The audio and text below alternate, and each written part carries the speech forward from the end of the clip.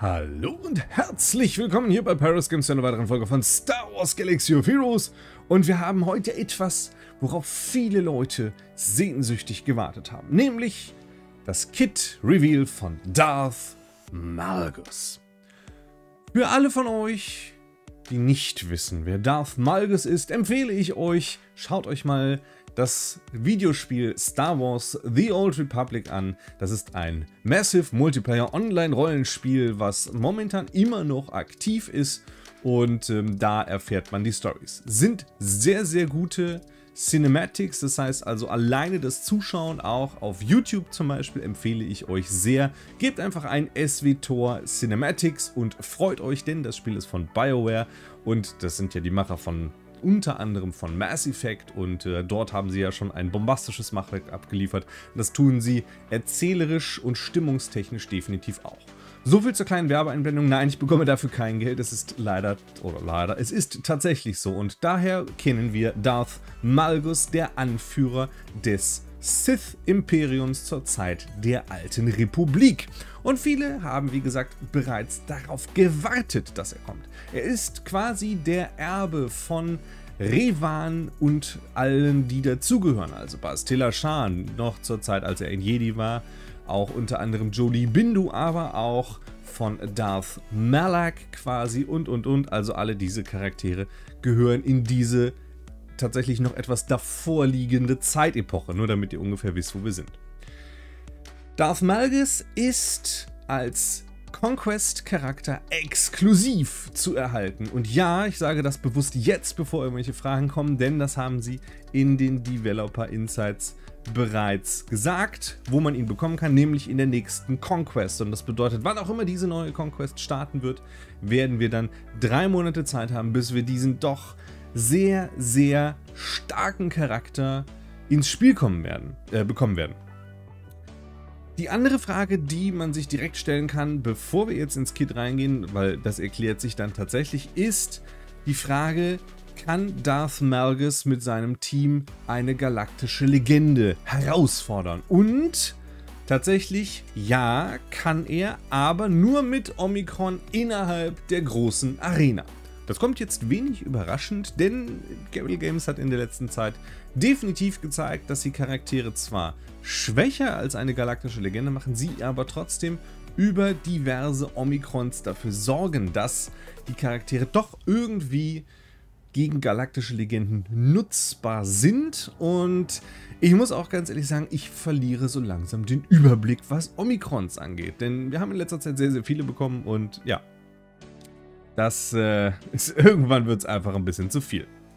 Also, jetzt wisst ihr, wer ist es, wo kriegen wir her und jetzt seid ihr natürlich heiß wie Frittenfett gespannt auf dieses Kit. Und bevor wir damit jetzt noch starten, möchte ich kurz noch einen Ausblick geben, was jetzt hier auf dem Kanal noch passiert. Das hätte ich vielleicht am Anfang machen sollen. Aber gut, das ist halt so. Äh, denn neben Darth Malgus gibt es diverse andere Ankündigungen. Wir haben das Kit vom Fifth Brother für die Inquisition und das war schon ein paar Tage länger her. Ich bin aus Zeitgründen bisher nicht dazu gekommen. Das werde ich definitiv noch nachstellen. Also wir haben das Kit vom Fifth Brother. Wir haben ein massives Kit-Update für die Inquisition. Ähm, das ist unglaublich stark. Ähm, ich muss euch auf jeden Fall, schiebe ich euch noch die Omicrons für Jin Urso und für Embo noch äh, quasi hinterher. Und es ist davon auszugehen, dass anlässlich des demnächst bevorstehenden Star Wars Tags am 4. Mai noch irgendwelche anderen Ankündigungen kommen, die wir auch alle mit Sicherheit sehnsüchtig erwarten. Oder auch nicht. Das werden wir dann sehen. Und auch dort gibt es dann entsprechend Videos. Also, ähm, es tut mir leid, dass ich jetzt nicht alles in dieses Video packen kann, aber es kommt Step by Step. So, Jetzt aber genug der langen Vorrede. Jetzt Darth Malgus Kit. Und es ist ähm, man könnte sagen, es ist wieder so eines dieser, dieser High-End-Kits, nicht so dieses schöne, schlichte, simple mitmache Schaden und dann passiert irgendwas, sondern da ist sehr, sehr viel ähm, Beiwerk mit dabei, auch Synergien, ähm, die man eventuell nicht im ersten Moment erkennt, aber das werdet ihr jetzt gleich sehen. Wir fangen an mit seinen Kategorien, denn das ist tatsächlich interessant. Er ist nämlich nicht nur ein Tank, so wie zum Beispiel Darth Malak, sondern er ist auch Anführer, natürlich selbstverständlich ein Sith und gehört auch dem Sith-Imperium an. Und gerade dieses mit Sith-Imperium wird noch eine weitere Rolle spielen. Seine Basic Ability Unfettered Rage hat bereits schon ein Zeta, fügt dem Gegner physischen Schaden zu, mit einer 50%igen Chance einen weiteren Angriff zu erhalten, was, da, äh, was verdoppelt wird, wenn es sich bei dem Ziel um einen Jedi handelt. Bei der zweiten Attacke, also wenn er das getriggert hat, dann erhält Darth Malgus 20% Maximalgesundheit, die bis maximal 100 stapelt bis zum Ende der Begegnung. Diese Attack Attacken, wichtig, also auch die erste wie auch die zweite, so sie denn triggert, kann nicht gekontert oder ausgewichen werden. Außerdem erhalten Sith Empire Verbündete erhöhte kritischen, erhöhten kritischen Trefferschaden für zwei Runden. Das ist tatsächlich schon sehr schön, insbesondere dieses mit dem Basic, die Maximalgesundheit um 20% zu erhöhen ist äh, schon sehr, sehr, sehr, sehr knackig, muss man tatsächlich sagen. Und ähm, nee, lass uns überraschen. Also, erstes Special. Deprive, Deprive Senses. Ja, ich habe ich hab tatsächlich, ich muss es ehrlich gesagt gestehen, ich habe gerade für einige Worte keine Übersetzung parat und ich habe leider auch, ich weiß, schlechte Vorbereitung, nicht dran gedacht, wieder eine Übersetzung auszuholen. Also Deprive Senses, da ist dann das Omikron. Müsst ihr jetzt leider mit leben, dass ich nicht für alles direkt sofort eine Übersetzung habe. Ähm, das erste Omikron, das erste Omikron wohl bemerkt, mit einem Cooldown von drei Runden, fügt dem gegnerischen Schaden physischen Schaden zu und verursacht Blenden und Schock für zwei Runden. Falls das Ziel bereits mit Schock belegt war, werden alle anderen Gegner für zwei Runden geschockt und es wird auf dem gegnerischen oder auf dem anvisierten Ziel wird für zwei Runden lang Fähigkeitenblockade ausgelöst. Außerdem erhält Darth Malgus Provozieren für zwei Runden. Das Omikron selbst, was dann in der großen Arena zählt, ist, dass Debuffs, die durch diese Fähigkeit verursacht werden, denen kann nicht widerstanden werden. Und Sith-Verbündete, äh, Sith-Imperium-Verbündete erhalten kritische Trefferchance für zwei Runden, also erhöhte kritische Trefferchance. Falls das Ziel bereits mit Schock belegt war, dann wird dem Ziel echter Schaden zugefügt, also etwas, was Verteidigung ignoriert. Ähm, wird, es, äh, wird, wird echter Schaden auf allen anderen Gegnern zugefügt, so rum. Und Darth Malgus erhält 50% Zugleist. Das ist tatsächlich sehr stark. Und wenn wir jetzt schon gucken, Sith Imperium Schock, ne, Bastila Shan macht Schock, Darth Revan Massenschock, ja. Ähm, das ist natürlich schon eine schockierende Angelegenheit. Ach, ihr habt es vermisst, gibt's zu. Na, also, hier kommt ein Massenschock und es ist so eine, tatsächlich so eine Art Kombination aus Shan und Darth Revan. Der Darth Revan mit seiner Blitzgewitterwolke, seiner Machtblitzwolke und Shan, die ja auch genau das tut. Sie fügt allen anderen Gegnern äh, schon nochmal richtig Schaden zu, wenn äh, sie einen Gegner angreift, der mit Schock belegt ist, mit ihrer äh, eigenen Schockgeschichte da. Und ähm, das ist quasi sowas nochmal ein kleines bisschen on top. Das zweite Special ist Dark Deception. Hier versteckt sich das zweite Zeta. Ob die anderen Fähigkeiten, ob hier das Deprive Senses, ob das ein Zeta hat, ich glaube nicht, weil es steht nur Omikron da. Man weiß es aber nicht. Vielleicht steckt noch ein Zeta dahinter. Weiß man nicht genau. Ähm, auf jeden Fall Dark Deception fügt dem anvisierten Ziel echten Schaden zu. Wichtig, echten Schaden. Der, 40, der, der vergleichbar ist mit 40% von Darth Malgus Maximalgesundheit Ne? Basic erhöht maximal Gesundheit, wichtig. Und verursacht Zweifel für zwei Runden. Zweifel ist ein neuer Debuff, der steht hier, steht hier, was das ist. Das anvisierte Ziel kann keine Bonuszugleiste erhalten oder Buffs, also quasi Buff-Immunität mit Zugleisten-Immunität, könnte man sagen. Und äh, auch keine Schutzregeneration, also kein Schutz, keine Buffs und keine Zugleiste mit Zweifel. Das ist ähm, ziemlich stark. Aber es ist entfernbar. Es ist kein, kein Locked-Buff, sondern es ist tatsächlich ein ganz normaler Debuff. Und da kommen wir nachher auch noch drauf, weil in der FAQ steht das nämlich genau drin, dass es durch zum Beispiel ähm, die Klinge von Darth Vader, wenn er sie schmeißt, auch äh, verbraucht und konsumiert wird. So, also das zum Zweifel. Falls Darth Malgus im Anführerslot ist und nicht im Verbündeten-Slot. Das gibt es ja in äh, den äh, normalen Knotenkämpfen zum Beispiel, dann kann diesem Zweifel nicht widerstanden werden. Also tatsächlich ein nicht anzweifelbarer Zweifel, ein nicht widerstehbarer Zweifel. Diese Zweifel, sie sind schon wieder unwiderstehlich heute. Ich habe keinen Zweifel, dass das äh, mit Sicherheit eine sehr interessante Geschichte wird. Ich sag, ihr habt es vermisst. Außerdem werden die Cooldowns des anvisierten Ziels um 1 erhöht und auch dem kann nicht widerstanden werden.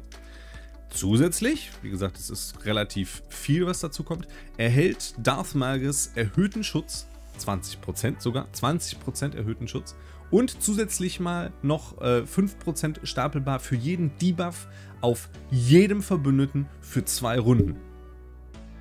Alleine das ist schon ziemlich heftig, wenn wir uns überlegen, okay, Punkt 1. Maximal oder Bonusschutz basiert auf Maximalgesundheit. Wenn er jetzt fünfmal mit dem Basic angegriffen hat, sind das 100% mehr Maximalgesundheit. Das heißt auch 100% mehr Maximal äh, Bonusschutz. Und nochmal 5% stapelbar zu den 20%, die da ohnehin schon draufkommen, für jeden Debuff auf jedem Verbündeten. Das betrifft ihn auch. Und wie wir ja zum Beispiel wissen, bekommen ja Sith-imperiale Verbündete durchaus ein paar Debuffs mehr.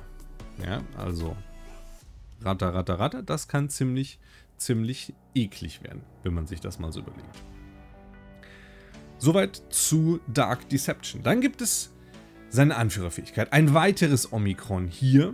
Ähm, Vermächtnis der Macht. Glaube ich. Legacy of Power. Ich glaube, das heißt Vermächtnis der Macht. Ja, doch. Genau. Vermächtnis der Macht. Und zwar, Sith-imperiale Verbündete sind immun gegenüber Zugleisten. Entzug, also tatsächlich komplett nichts manipulierbar.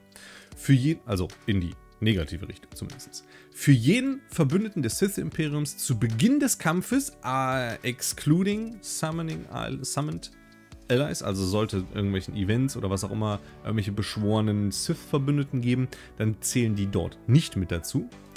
Auf jeden Fall erhalten sie für jeden Sith-Verbündeten 10% kritische Trefferchance, 10% maximal gesondert und 10%, äh, nicht 10%, sondern 10 Tempo. Das heißt 50 Tempo, wenn man ein komplettes Team aus dem Sith-Imperium bildet. Das ist schon ein bisschen hart. Also 50 Tempo, wenn wir jetzt mal so einen durchschnittlichen Darth Revan nehmen, den man da vielleicht in das Team mit rein tut, 320 Tempo vielleicht, dann sind das 370. Das ist schon eine ziemlich fiese Bank. Und das außerhalb Omikron, was auch immer, sondern ganz regulär. Miese Nummer, miese Nummer. Das erste Mal, wenn ein anderer Verbündeter unterhalb von 50% fällt, dann erhalten alle, äh, alle Gegner bis zum Ende, äh, am Ende dieses Zuges äh, Furcht für eine Runde, dem nicht widerstanden, ausgewichen oder was auch nicht entfernt werden kann. Also ein Locked hier für alle in dem Moment, wo ein Verbündeter unter 50% fällt. Das erste Mal. Darth Malgus selbst ist immun gegen Betäuben und Furcht, natürlich, selbstverständlich.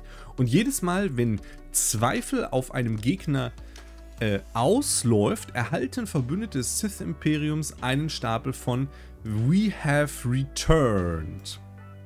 Für alle, die jetzt Darth Malgus vielleicht nicht kennen, kennen diesen wunderschönen Satz nicht aus dem Ursprungs-Cinematic von SWTOR. Ähm, ansonsten, wie gesagt, guckt es euch an, ist mega gut. Und zwar für vier Runden. Auch das kann nicht kopiert, entfernt oder verhindert werden. Was macht jetzt We Have Returned? We Have Returned erhöht 5% kritischen Schaden und Angriff pro Stapel. Was jetzt ein bisschen interessant wird, denn Zweifel, wie, wie kommt nochmal Zweifel ins Spiel? Zweifel kommt durch seinen anfettert äh, durch, nein, wo war es hier? Äh, durch sein Dark Deception. Nein. Wo hatte ich es denn gerade? Bin ich total blöde? Da war es doch, Dark Deception, meine Güte. Ah. Ja, also alle vier Runden. Und ähm, wenn das nur... Na gut, also ne, für jeden Stapel, das heißt, hochstapeln alle vier Runden ist schon ein bisschen wenig. Ich gehe fast davon aus, dass wir vielleicht demnächst nochmal so ein, zwei zusätzliche Charaktere für das Sith-Imperium bekommen könnten und äh, dort noch weitere Zweifel auftreten. Oder vielleicht bekommen wir noch einen Kit-Touch-Up für die, das bestehende Sith-Imperium. Das kann natürlich auch sein. Werden wir sehen. Aber ansonsten ist tatsächlich mehrere Stapel von Zweifel, finde ich dann doch relativ schwer überhaupt zu bekommen. So, Das Omikron von Vermächtnis der Macht oder Vermächtnis von Macht oder ja doch Vermächtnis, ja irgendwie so. Ähm, fünf Sith Empire Verbündete erhalten 50% Meisterschaft, 30 Tempo und 80% kritische, kritisches Ausweichen am, am, zu Beginn des Kampfes. Und der Schaden, den sie erhalten, ist um 15% reduziert. Das ist massiv. Alleine 80% kritisches Ausweichen. Oh, du wirst fast nicht kritisch getroffen. Ja, ciao, Darth Malak. so. Jedes Mal, wenn ein Sith-imperialer Verbündeter mit einem Debuff belegt wird, dann erhalten sie 10% Schutz und Gesundheit. Jedes Mal, wenn Zweifel auf einem Gegner entfernt wird, dann wird dieser Gegner mit Entblößen belegt, dem nicht widerstanden werden kann. Und solange wie Gegner mit Zweifel belegt sind, haben sie minus 20% Tempo, minus, äh, min doch minus 20%, 20 Tempo, wichtig, nicht reiner Wert, sondern 20%, das ist deutlich mehr. Minus 20% Zähigkeit und minus 30% kritischer Schaden. Also eine ziemliche Einschränkung. Zu Beginn des Kampfes, wenn alle Verbündeten Sith sind, nicht nur Sith Imperium, sondern tatsächlich Sith, dann erhält Darth Malgus zusätzlich 50% Maximalschutz und Maximalgesundheit und nochmal 60 Tempo on top dazu. Außerdem stellt Darth Malgus zu Beginn des Kampfes 100% Schutz und Gesundheit wieder her. Okay, das ist jetzt ein bisschen komisch. Ähm, oder was heißt ein bisschen komisch? Das ist eigentlich gar nicht komisch, weil diese Fähigkeit ist, glaube ich, mit einer der heftigsten Sachen ever. Denn normalerweise, wir kennen das ja, große Arena oder TV, ne, kennen wir, wir gehen rein, ballern alles tot, kloppen vielleicht den Gegner auf 20% runter, denken sie, so scheiße, jetzt doch nicht mehr geschafft.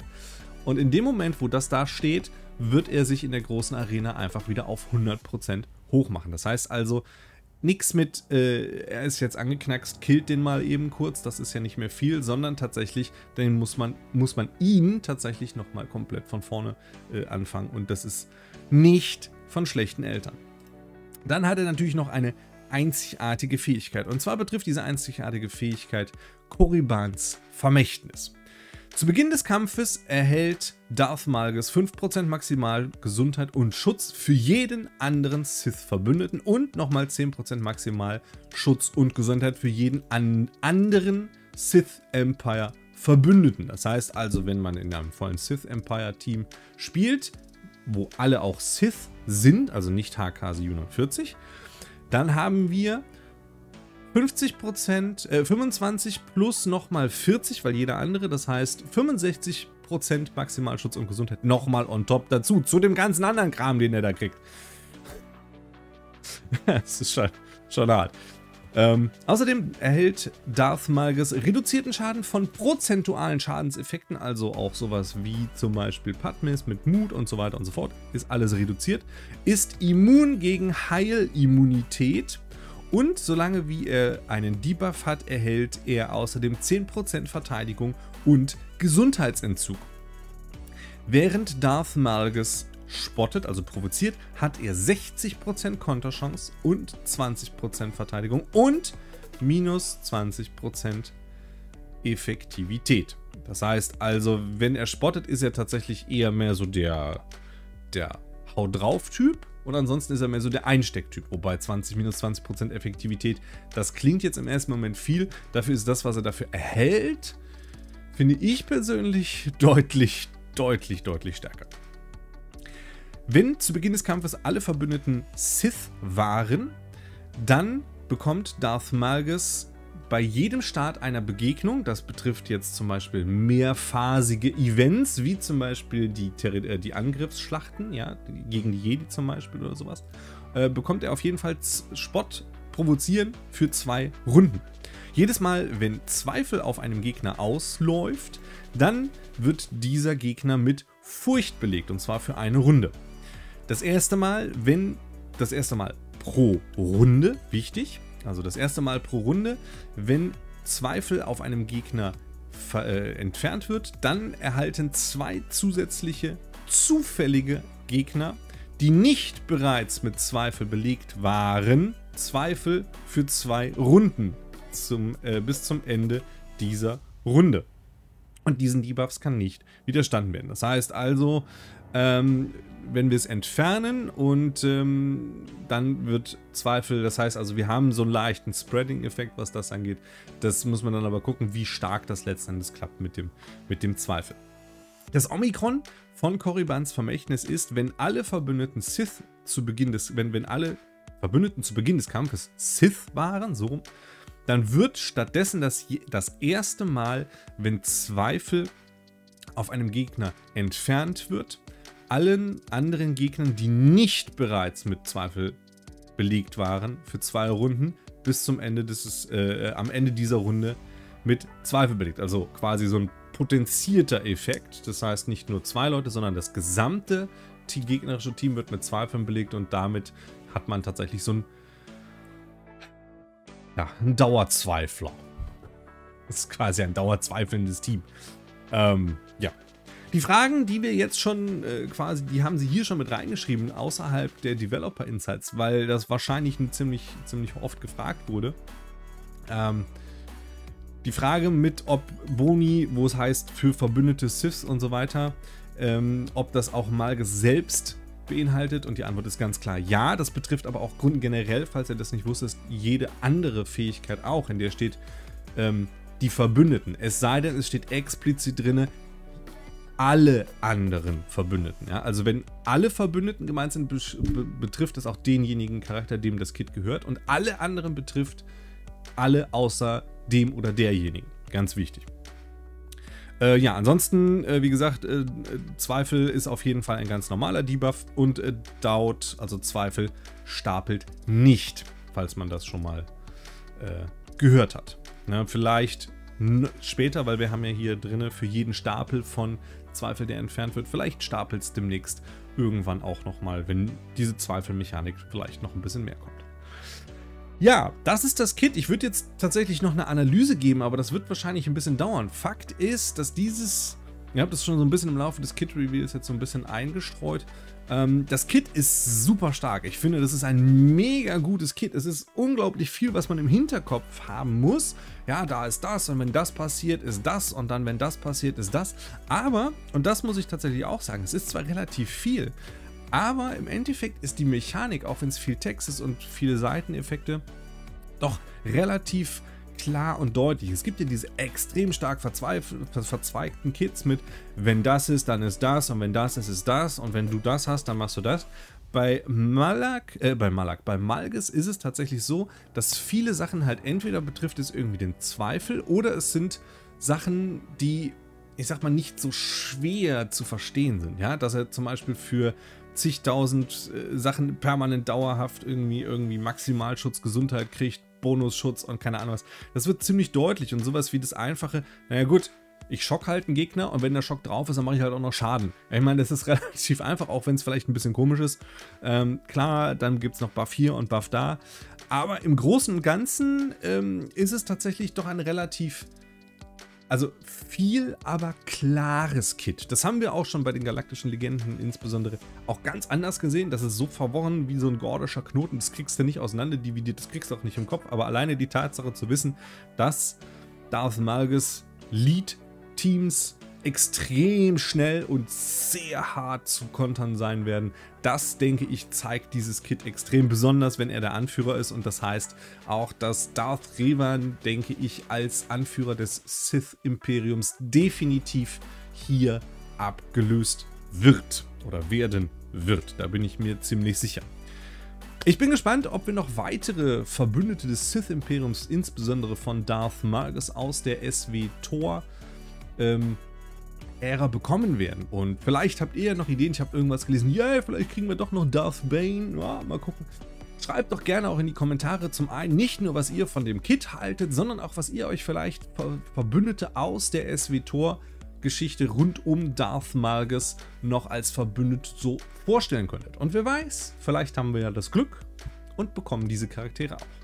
Ansonsten hoffe ich, dass euch das Video gefallen hat und wie ich habe es eingangs erwähnt, es kommen sehr, sehr viele Videos jetzt im Laufe der nächsten Tage. Am Wochenende muss ich gucken, wie ich es schaffe, aber ich werde diese Videos definitiv noch nachstellen. Das heißt, falls ihr auf diese Informationen nicht verzichten könnt und es nicht nachlesen wollt, dann natürlich selbstverständlich gilt wie immer, abonniert den Kanal, das lohnt sich sowieso immer wieder. Und ansonsten hoffe ich, dass euch das Video gefallen hat, deswegen Daumen hoch. Und wir sehen uns beim nächsten Mal hier bei Star Wars Galaxy of Heroes. Ich bin der Simme, stay tuned, vielen Dank fürs Einschalten und bis zum nächsten Mal. Stay tuned. Ciao.